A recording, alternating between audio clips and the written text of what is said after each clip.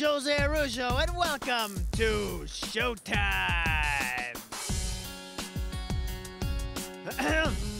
Showtimes.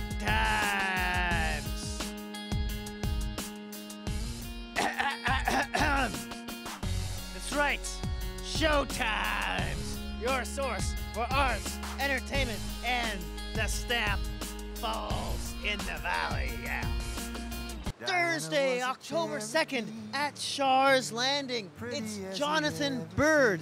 Yeah, that's right. Uh, Jonathan is a rootsy uh, North Carolinian. Yeah, I believe that's what they call people from North Carolina. Carolinians. That's right, you learned something today. Have you seen any fish? No. Oh, man. Thursday, October 3rd, also at Char's Landing. It's the clans. That's right, the clans. I'm a clan person myself. I'm from the Mukarujo clan, aye. So, uh, yeah. And it's to be the first time in Port Alberni. And they're all about Celtic folk rock. And I've never heard a Celtic folk rock band I like, so you're gonna wanna take a peek. You guys see any fish over there? See fish? Do you see, do you see fish? Is it down there? Down there. Hey, they can see fish. I don't see any fish. I don't understand it.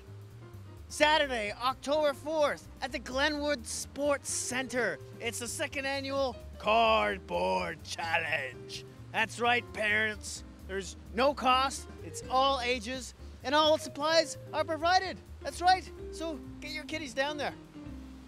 Also on Saturday, October 4th, this time at Char's Landing, it's Jacqueline Gillieu.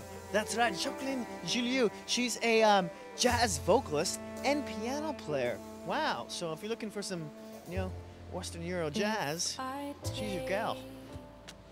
Sunday, October 5th, also at Char's Landing, it's a benefit concert with Bev Izzy. That's right, um, a powerful acoustic uh, musician, um, songwriter, and sultry jazz singer. That's right. I'm gonna go see if I can find some of these fish, get closer to the water.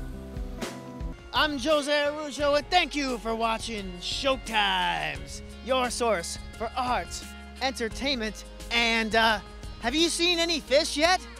I saw um ten um How many fish? um thirteen. 13. You saw 13 fish? I didn't see any fish yet. Hold on. Maybe you can show me. Uh, for more details, check out alberni.ca. Uh, you can look us up on Facebook. Yeah. And it's, oh, I just saw a fish. And if there's any listings you want to um, share with us, well, you know, go fish.